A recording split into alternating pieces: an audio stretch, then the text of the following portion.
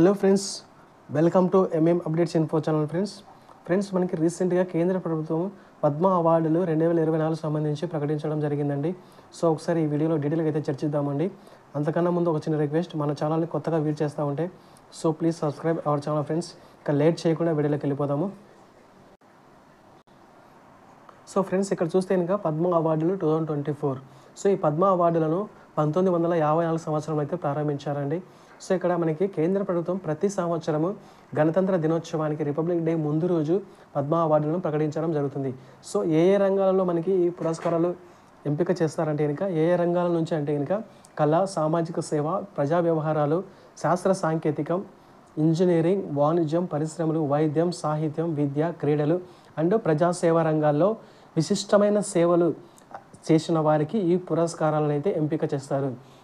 అంటే నెక్స్ట్ చూస్తే కనుక మనకి అసాధారణమైన విశిష్ట సేవలు చేసిన వారికి అయితే ఇంకా పద్మభూషణ్ అయితే ఇస్తారనమాట ఉన్నత స్థాయి విశిష్ట సేవలు చేసిన వారికి పద్మభూషణ్ అండ్ విశిష్ట సేవలు అందించిన వారికి పద్మశ్రీ పురస్కారాలు అయితే అందించడం జరుగుతుంది.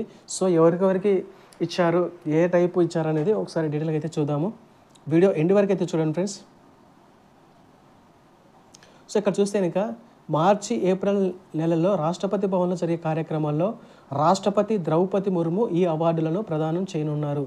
సో రాష్ట్రపతి భవన్లో రాష్ట్ర రాష్ట్రపతి ద్రౌపది ముర్ము గారు ఈ అవార్డులను ప్రదానం చేయనున్నారు. సో ఈ రెండు వేల ఇరవై నాలుగు సంవత్సరం సంబంధించి టోటల్గా నూట ముప్పై రెండు పురస్కారాలు అయితే కనుక ప్రకటించారు. సో రెండు వేల ఇరవై నాలుగు సంవత్సరానికి నూట ముప్పై రెండు పద్మ పురస్కారాలను ప్రకటించారు. ఈ నూట ముప్పై రెండులో ముప్పై మంది మహిళలు అయితే ఉన్నారండి. సో ఇది నోట్ చేసుకోండి. సో నూట ముప్పై రెండులో ముప్పై మంది మహిళలు అయితే ఉన్నారనమాట సో ఇక్కడ చూస్తే ఇంకా ఏ దానికి నేను అనేది డీటెయిల్గా ఇచ్చానండి. ఒకసారి చూద్దాము. పద్మ విభూషణ్ వచ్చేసి ఐదు మందికి ప్రకటించారు. పద్మభూషణ్ వచ్చేసి పదిహేడు మందికి ప్రకటించారు. పద్మశ్రీ వచ్చేసి నూట పది మందికి అయితే ప్రకటించారు. సో వాళ్ళ పేర్లు కూడా ఒకసారి డీటెయిల్గా అయితే చూద్దాము. ఇక్కడ చూస్తే కనుక పద్మ విభూషణ్ పద్మ విభూషణ్ వచ్చేసి మనకి ఎం ముప్పవరపు వెంకయ్య నాయుడు. ఉపహారాలు కేటగిరీలో ఈయనకి సెలెక్ట్ చేయడం జరుగుతుంది అనమాట ఈయన ఆంధ్రప్రదేశ్ సంబంధించిన వ్యక్తి. కొనిదెల చిరంజీవి ఈయన అందరికి తెలిసిన వ్యక్తి పర్సన్ సినీ యాక్టర్ కదా. ఈయన వచ్చేసి కళారంగం నుంచి సెలెక్ట్ చేయడం జరిగింది. ఈయన కూడా ఆంధ్రప్రదేశ్ సంబంధించిన పర్సన్. ఇక్కడ చూస్తే కనుక మనకి పద్మ విభూషణ్కి సంబంధించి ఆంధ్రప్రదేశ్కి ఏపీ స్టేట్కి రెండు అయితే రావడం జరిగింది. అండ్ పద్మశ్రీ ఒకటి రావడం జరిగింది. సో అదనమాట ఇంకా నెక్స్ట్ చూస్తే ఇంకా వైజయంతి మాల వైజయంతిమాల అనే నృత్యకారిణి ఈమె కళారంగం నుంచి ఈమెను సెలెక్ట్ చేయడం జరిగింది తమిళనాడు స్టేట్. అండ్ పద్మ సుబ్రహ్మణ్యం ఈమె కూడా భరతనాట్య కళాకారిణి కళారంగం నుంచి ఈమెను సెలెక్ట్ చేయడం జరుగుతుంది తమిళనాడు స్టేట్. సో తమిళనాడుకి రెండు ఇచ్చారనమాట ఆంధ్రప్రదేశ్కి రెండు ఇచ్చారు బీహార్కి ఒకటి. సో బీహార్ నుంచి అయితే కనుక బిందేశ్వర్ పాఠక్ సులభ్ శౌచాలయ సృష్టికర్త. సో సులభ్ శౌచాలయ సృష్టికర్త ఎవరంటే బిందేశ్వర్ పాఠక్. ఈయన వచ్చేసి సామాజిక సేవా విభాగంలో ఈయనను సెలెక్ట్ చేయడం జరిగింది. ఈయన వచ్చేసి బీహార్ స్టేట్కు సంబంధించిన పర్సన్. అండ్ నెక్స్ట్ చూస్తే ఇంకా పద్మభూషణ్. పద్మభూషణ్ వచ్చేసి మనకి టోటల్గా సెవెంటీన్ అయితే ఇచ్చారండి. సో ఎం పాతిమా బీవి ఈ మరణాంతరం అయితే ఇచ్చారండి. సో ప్రజా వ్యవహారాలు కేటగిరీలో సెలెక్ట్ చేయడం జరిగింది కేరళ స్టేట్ అనమాట అండ్ సత్యవ్రత ముఖర్జీ మరణాంతరము ప్రజా వ్యవహారాల కేటగిరీలో సెలెక్ట్ చేశారు వెస్ట్ బెంగాల్ అనమాట రామ్ నాయక్ ఈయన కూడా ప్రజా వ్యవహారాలు మహారాష్ట్ర స్టేట్.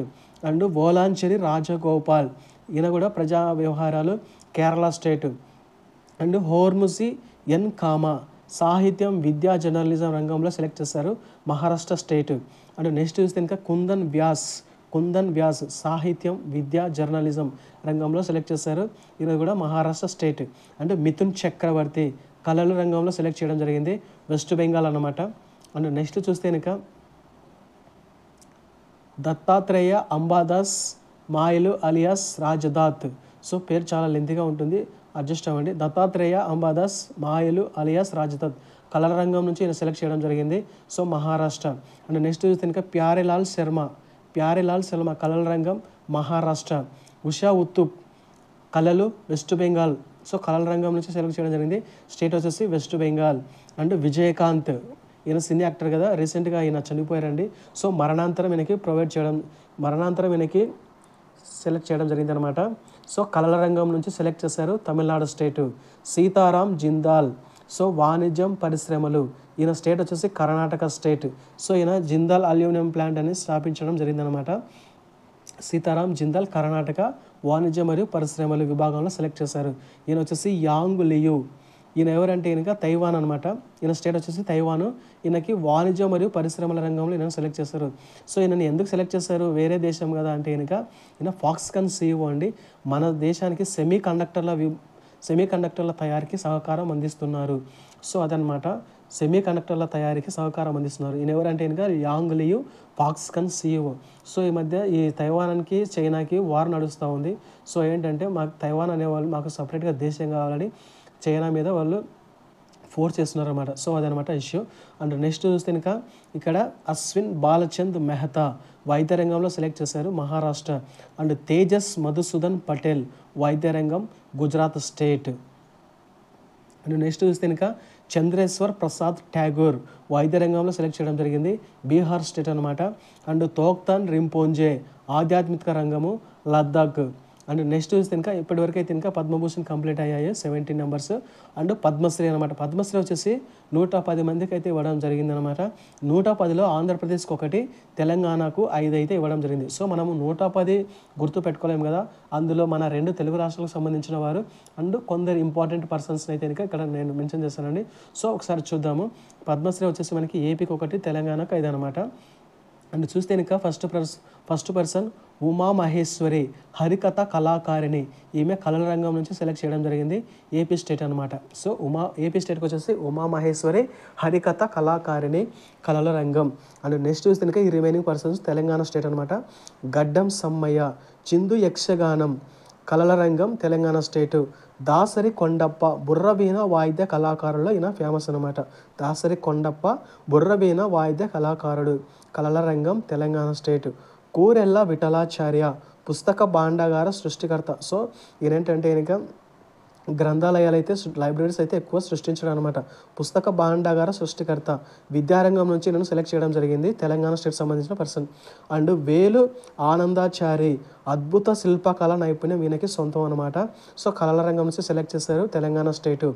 కేతావల్ సోమలాల్ కేతావల్ సోమలాల్ బంజారా భాషలో భగవద్ భగవద్గీతను అయితే సృష్టించాడు అనమాట సో బంజారా భాషలో భగవద్ భగవద్గీత సృష్టికర్త ఈయన సాహిత్య రంగంలో ఈయన ఈయన సెలెక్ట్ చేయడం జరిగింది. తెలంగాణ స్టేట్ పర్సన్ అనమాట అండ్ నెక్స్ట్ ఇంకా కొందరిని చూద్దామండి.